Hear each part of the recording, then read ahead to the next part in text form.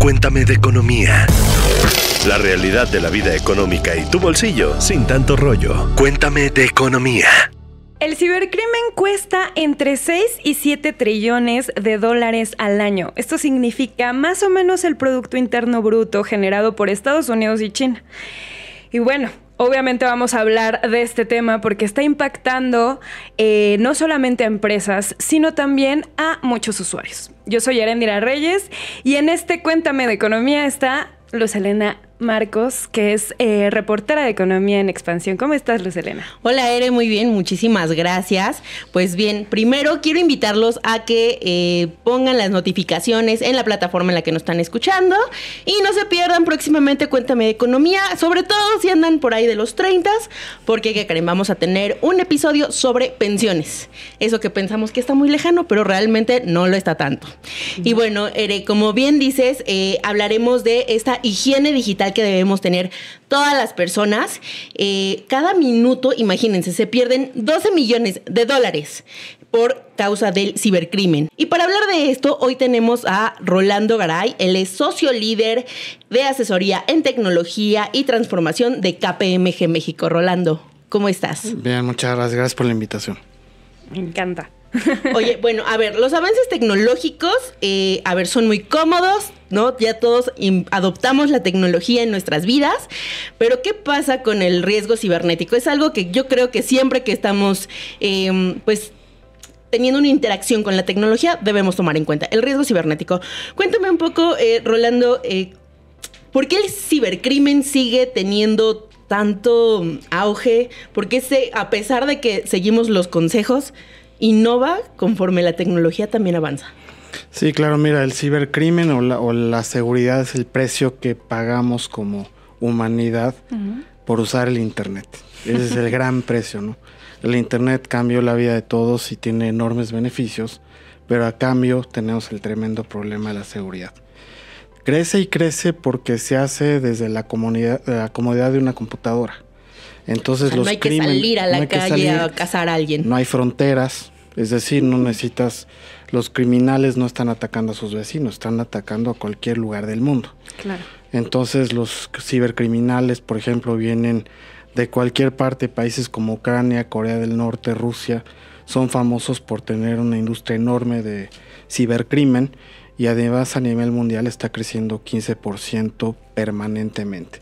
Entonces, Personalidades como Warren Buffett dicen que el cibercrimen es el problema número uno de la humanidad. Entonces imagínense el impacto y el tamaño que, que tiene este problema hablando un poco justo de las estadísticas y entrando en la parte de las metodologías para medir los riesgos, eh, justo ubico que el Fondo Monetario Internacional calcula y hace un índice de protección de ciberseguridad, donde lamentablemente no estamos muy bien en México. Ubico que en cuanto al porcentaje que se determinó entre 2017 y 2022, el país solamente tenía un puntaje de 4.35% que está por debajo de la media. O sea, estamos abajo de lo bajo, que es el 6.81%. ¿Qué está sucediendo? Eso involucra obviamente a las empresas, pero también nos está involucrando a nosotros como usuarios. ¿Qué nos está faltando? ¿Qué estamos excedidos de confianza? Exactamente. La cultura de protección hacia el cibercrimen sigue siendo baja en México. Aproximadamente 66% de las empresas que se atacan en México son empresas medianas y pequeñas, que como sabemos es la base de la economía de nuestro país. Y para darles un dato que es preocupante, aproximadamente 60% de las empresas que son vulneradas ponen en riesgo su continuidad, es decir, pueden llegar a tronar o terminar su operación por un gran impacto de, un, criminal que las atacó. Hay también en México, como en todo el mundo, una falta de talento, no solamente el, el aspecto cultural, sino también a nivel de educación tenemos un gap enorme de ingenieros capacitados para defendernos del cibercrimen. En Estados Unidos se calcula que hay un gap de 700 mil ingenieros capacitados para atender esta problemática. En América Latina no se ha hecho el estudio, pero estamos hablando también de cientos de miles de personas que nos faltan, nosotros como país y como región, capacitar y certificar para que nos defienda. Entonces, bueno, los especialistas en, en, ciberseguridad, como es nuestro caso, pues tenemos grupos grandes que hacemos lo mejor posible para defender y preparar a nuestros clientes para que estas cosas no pasen. Claro, para contenerlos. Y bien, a ver, ahora hablabas de empresas, pero ¿qué está pasando con, la, con el usuario común, el de a pie? ¿Ellos en qué manera están siendo vulnerados? Sí, tenemos, como te decía, un tema de sobreconfianza, ¿no? Los latinos el a mí no me va a pasar. somos. Sí, lo ves en la industria de los seguros también. Creemos que no nos va a pasar. Y lo peor es que a veces nos pasa, y como empresas, por ejemplo, ahorita regreso a las personas, pasan seis meses en promedio para que se den cuenta que ya fueron vulnerados, lo cual es gravísimo. En que se den cuenta. En que se den cuenta, porque significa que los cibercriminales ya están operando en nuestras redes internas cuando la empresa todavía no lo sabe. A nivel de personas, pues seguimos cayendo por falta de educación, de entrenamiento, de cultura en las tentaciones, ¿no? Yo creo que a ustedes les pasa que todos los días te llegan correos invitándote a una promoción falsa o diciéndote que tienes un problema en tu cuenta de banco o diciéndote que des aquí clic para decir que sí pusiste un pedido en comercio electrónico. Es, A mí en lo personal me llegan diario estoy seguro que a todos les pasa, ¿no? y bueno, conectividad. exactamente, porque vivimos online. Entonces lo que falta es, bueno, primero que todos sepamos que esos, esas promociones fantásticas no existen, que los bancos no te piden de esa manera tus datos, que las empresas de servicio tampoco lo hacen y una forma básica, simple de darte cuenta es dándole doble clic al sender y ahí vas a ver que la cuenta de donde te están mandando estas promociones o aclaraciones o solicitudes son este, unas cuentas y que lo hemos dicho, porque aparte hay veces que podría parecer eh, no sé, en vez de decir la cuenta ha llegado de luzelena.com, en vez de decir luzelena, en vez de Z traía la S. O sea, en verdad son ligeros cambios que sí te pueden de repente. claro. o viene ser, empresa servicioclientes.com. Entonces tú lo lees y si estás distraído dices, bueno, sí. y es probable que le des clic. Ahora, también hay un tema generacional. La gente de mayor edad tiende a caer con mucho más facilidad. Claro. Después vienen edades distintas en donde, bueno, afortunadamente las generaciones más jóvenes están más alertas, pero aún así, la facilidad con la que caes es, es mucha. Ahora, estamos siendo atacados no solamente por cibercriminales, sino por robots que esos cibercriminales lanzan y permanentemente están haciendo esta campaña. A ellos no les importa lanzar 5, 6, 7 millones de correos, con que caigan dos o tres, los premios son tan altos para ellos que es una actividad muy rentable. Claro, claro. Y bueno, justo mencionas que no hay un sistema 100% seguro y hay algunos métodos que puedes tener, que puedes aplicar para eh, evitar caer en alguno de estos fraudes. Eh, en mi caso, por ejemplo, ya lo mencionabas un poquito, eh, ha incrementado muchísimo este phishing a través de SMS que además cada vez son más sofisticados. Seguramente, o sea, yo varias veces he casi caído de, bueno, yo ni siquiera estoy pidiendo ningún paquete porque me está llegando que tengo que ir a recogerlo a la aduana o que tengo que pagar a través de este link. No tiene sentido. Pero se sofistican más los, los eh, mensajes, se hacen cada vez más difíciles de interceptar. Entonces, como consejos de amos, ¿qué cosas no hacen? ¿Qué cosas de así? Y le dicen a la mamá, le dicen al hermano, le dicen a las personas que eviten hacer para justo tener una mala experiencia. Si quieres, Rolando. A nivel de individuos es eh, siempre desconfiar y nunca dar clics. A veces puedes pecar hasta del otro lado, pero es mejor Nunca dale clic a ninguna liga que te llegue de un tercero si no es una persona que conoces. Porque de veras están muy, muy bien hechos. Cada vez son más sofisticados los ataques y como les decía, son robots los que están lanzando estos ataques. Entonces, phishing, para los amigos que nos hace favor de escuchar, es cuando tú le das clic a un, a un enlace y en el momento que das clic, tú te das cuenta, pero ya el ladrón o, la, o el cibercriminal está viendo tu pantalla. Y si empiezas a dar información tipo password, número de cuenta, etcétera, le estás dando toda la información o control para que ellos hagan transacciones en tu nombre y que tú no te des cuenta. Otro método que se usa mucho es el famoso malware, en donde igual por un error le das un clic, se instala un software malicioso en tu computadora y empieza a hacer desastres, como te empieza a robar información o la echa a perder, etcétera. Uno de los tipos de, de malware más famosos que existe es el ransomware. en donde la tecnología que utilizan les permite secuestrar tus servidores o tus sistemas y entonces pedirte recompensas como persona o como empresas.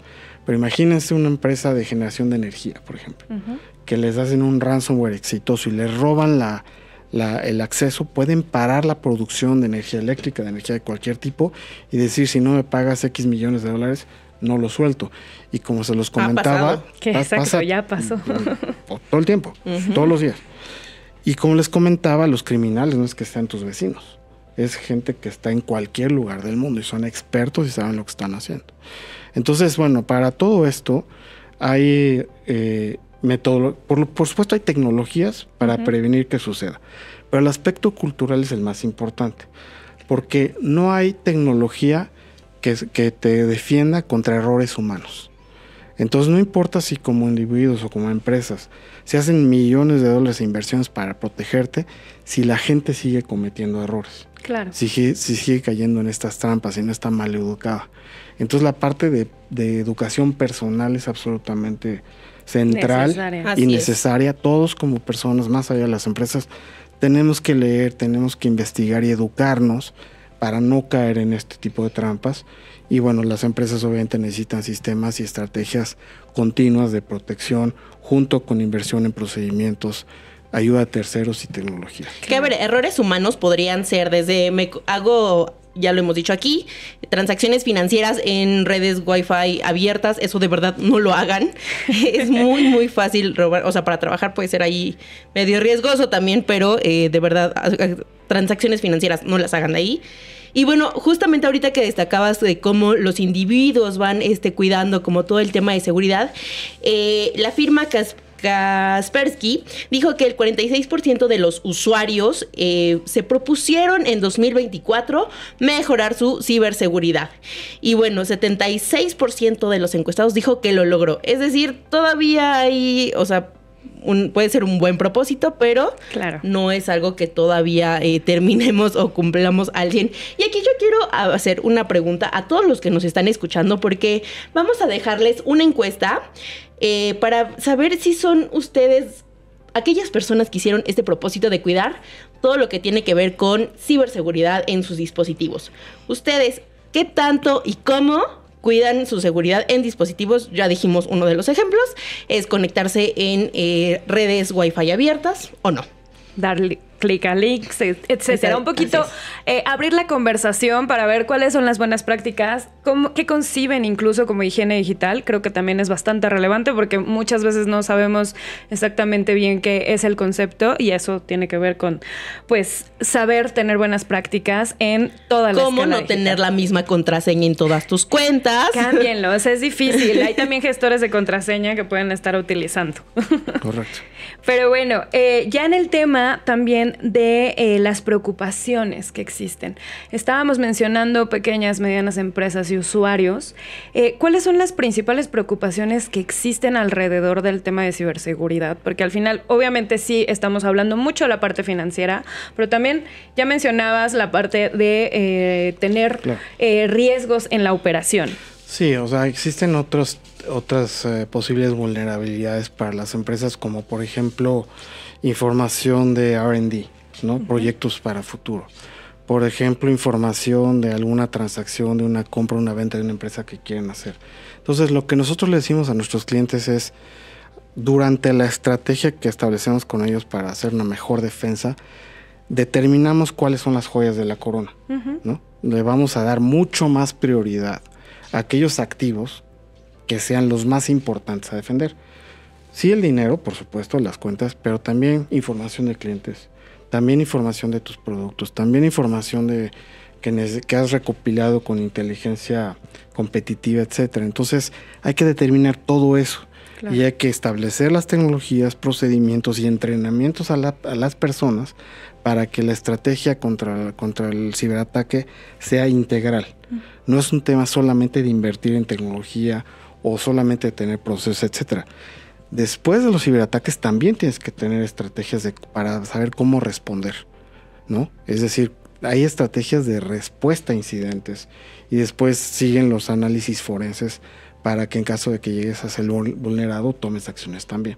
Entonces es todo el ciclo de la, de la ciberdefensa.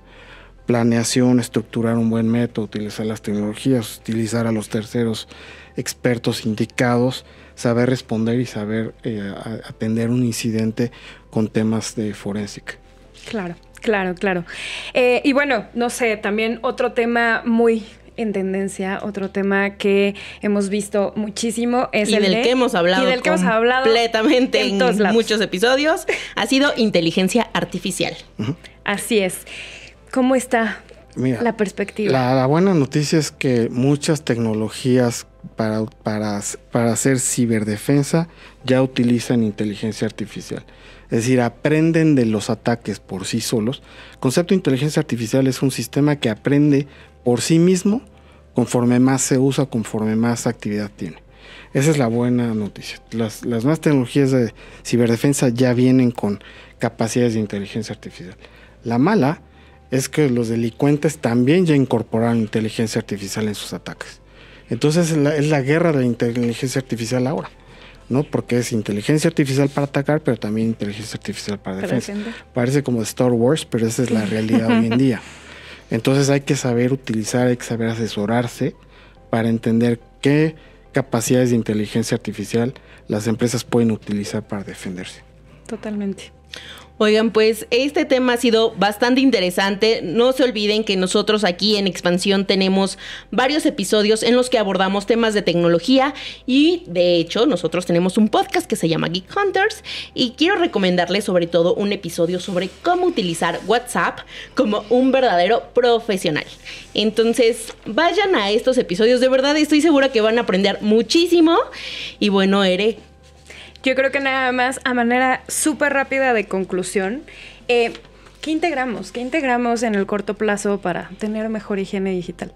Lo, primero es la educación. Todos, todos tenemos la obligación, al ser usuarios digitales, tenemos la obligación de capacitarnos y de entrenarnos. Claro. No se vale ser solamente usuario digital y obtener los beneficios y, y las recompensas y la comodidad de usar el Internet todos estamos obligados, personas y empresas, a estudiar más el tema, a ver videos de cómo me defiendo mejor, de qué prácticas debo hacer y cuáles no. Eso es, eso es un, eso es un must. Claro. No podemos vivir de manera nativa digital sin saber defender. Pensando que todo va a estar bien nada más porque estamos en un entorno digital, porque realmente no lo estamos. No estamos bien y no es solamente un tema de, es un poco como las motos de, no es si vas a tener un accidente, es cómo vas, cuándo lo vas a tener y cómo vas a reaccionar.